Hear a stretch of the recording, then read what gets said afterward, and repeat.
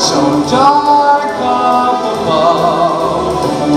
The sun's in my heart and I'm ready for love. Let the stormy clouds chase everyone from the place.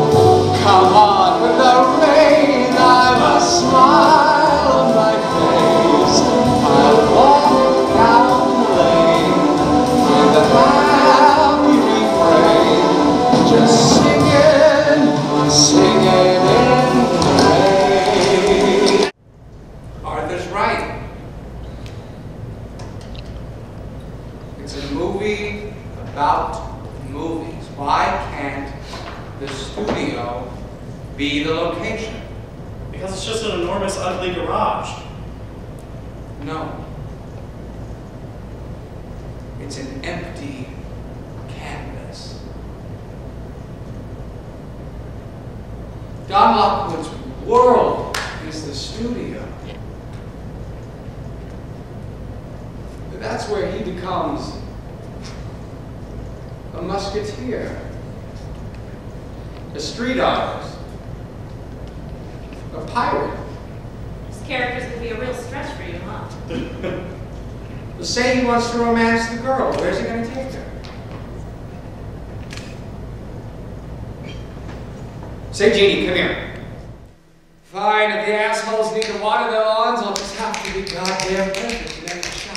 You're the one who wanted it to be a solo.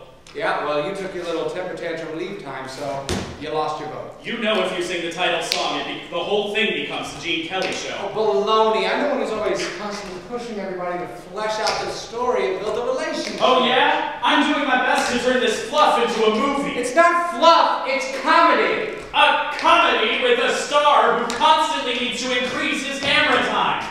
The people are coming to see Gene Kelly in this picture, and you know it. Who the hell are Donald O'Connor and Debbie Reynolds? I gotta have one number that lets me do my thing alone. The title number. Yeah, the goddamn title number!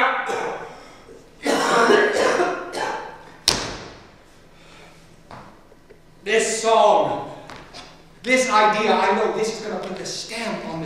Astaire stuff is shot like a stage show. They do it in one continuous take with a 180 degree camera. Wait a minute, are you actually giving me credit for something that your god, Fred Astaire, doesn't do? No, I was giving me credit for it. You may not remember, but when we worked together, I had him dancing on the ceiling. But don't worry, I'm sure the great Gene Kelly deserves the nod for that one too. It's like a broken record.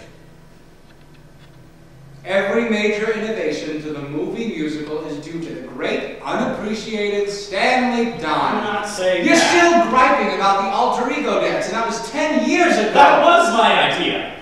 Sure! You have great ideas. I have great ideas. That's how you make a movie. People have great ideas and you film them. The ideas make the picture. No, the performance puts the stamp on the picture.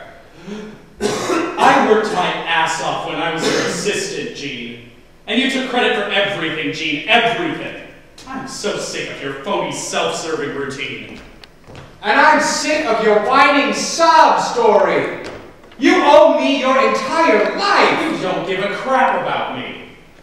I don't give a crap about you.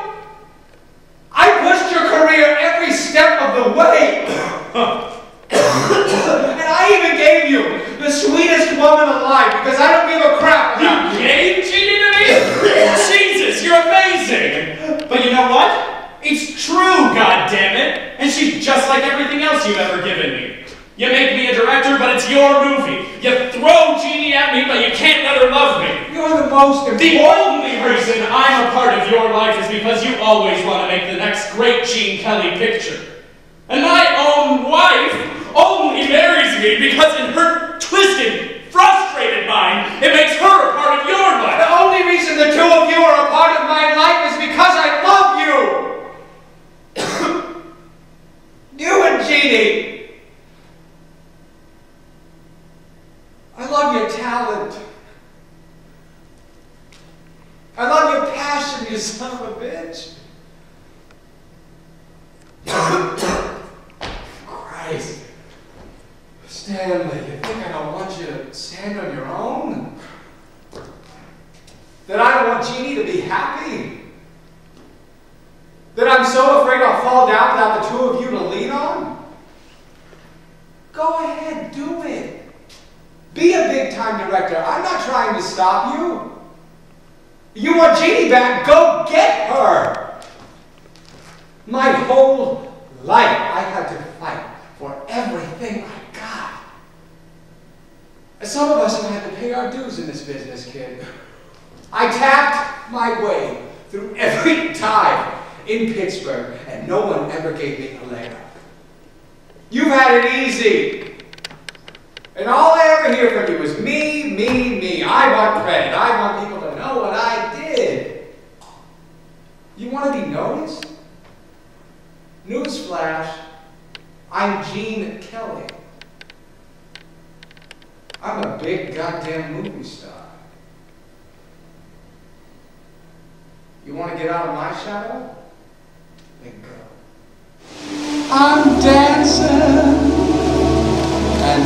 singing in